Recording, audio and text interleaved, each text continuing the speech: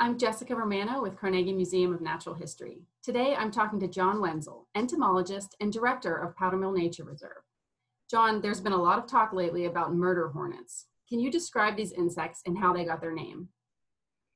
Yeah, this is uh, the largest hornet in the world. Its scientific name is Vespa mandarinia, and it's found only in East Asia.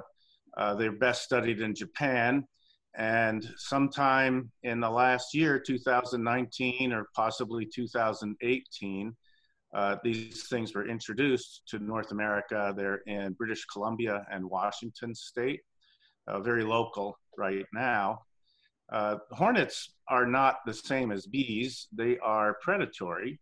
And this particular group of hornets, this one and several of its relatives in Asia, are predators of other bees and hornets and they attack the nest and feed on the brood. So they would uh, attack a bee colony, kill the workers as they're entering, and then eat the bee larvae inside the nest. So, if this is an insect typically found in Asia, how did it get to North America?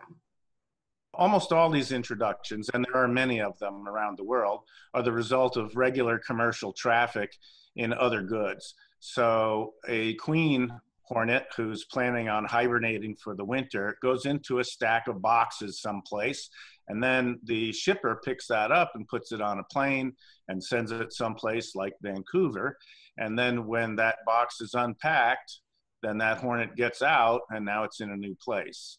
And so what is the threat or the concern for these insects?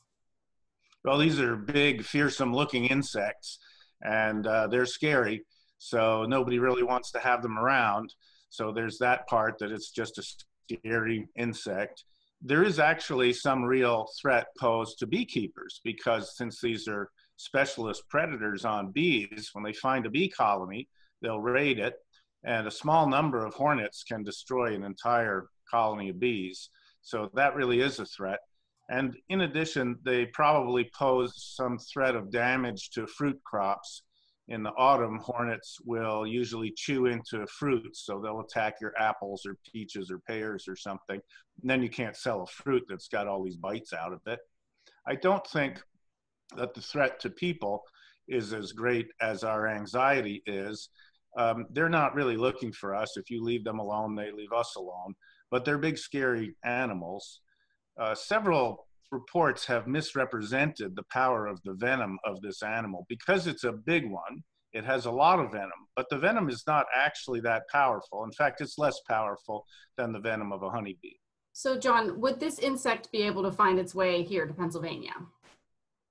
Well, if it got bundled up in some shipping goods and got shipped across the continent, yeah, it could get here the same way it got here from Japan. Uh, but really, I think it's extremely unlikely that they're going to be able to cross the Great Plains by themselves. In about 1850, another big hornet, the European hornet, was introduced to the vicinity of New York City.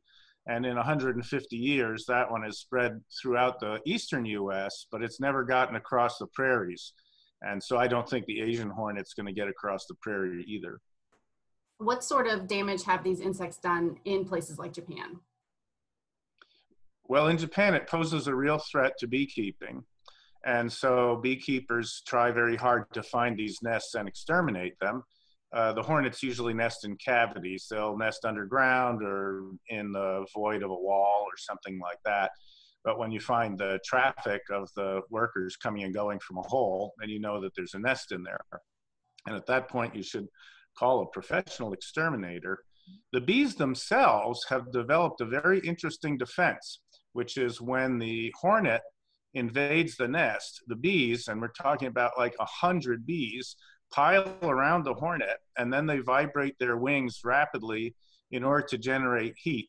And they can raise the temperature of this ball of bees up to 110 or even 115 degrees Fahrenheit. Wow. And that heat will kill the hornet.